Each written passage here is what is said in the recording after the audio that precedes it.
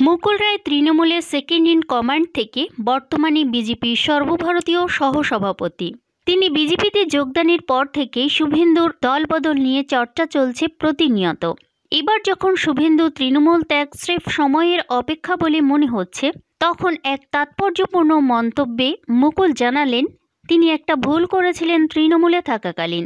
তখন মমতা বন্দ্যোপাধ্যায়ের পরেই মুকুল ছিলেন তৃণমূলের সবথেকে ক্ষমতার নেতা। শনিবার এক সাংবাদিক বৈঠকে অতীতের একটি ভুলের কথা স্মরণ করে তাৎপর্যপূর্ণ বার্তা দিলেন।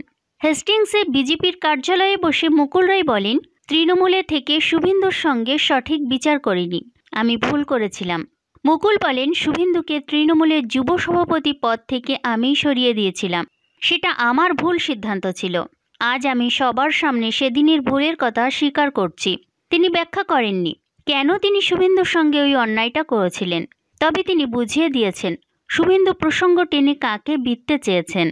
মুকুল রায় তৃণমূল ছেড়ে এখন বিজেপিতে, শুভেন্দু তৃণমূল ছাড়ার জন্য পা বাড়িয়ে আছেন। এই পরিস্থিতির জন্য তিনি তাক করলেন সেই পরিবারতন্ত্রকে। মমতা বন্দ্যোপাধ্যায় ভাইপো অভিষেকের রাস্তা পরিষ্কার হয়ে গিয়েছিল শুভেন্দুকে যুব সভাপতির পদ থেকে সরিয়ে দিতে। তাই প্রকারান্তরে বোঝাতে চাইলেন মুকুল। অন্তত বিশেষজ্ঞ মহলের ধারণা তাই। শুভেন্দুকে নিয়ে জল্পনার পাশাপাশি রাজীবের বিস্ফোরক মন্তব্য নিয়েও মুকুল রায় তাৎপর্যপূর্ণ বার্তা দিয়েছেন।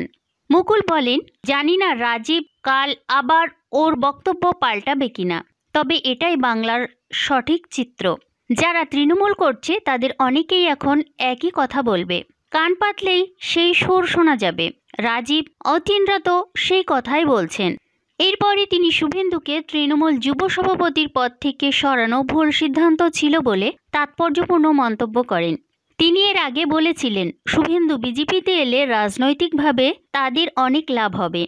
এই শুভেন্দু অধ্যায় দু একদিনের মধ্যে শেষ হয়ে যাবে বলেও জানিয়েছিলেন তিনি। তৃণমূলে থাকাকালীন উভয়ের মধ্যে অম্লমধুর সম্পর্ক ছিল।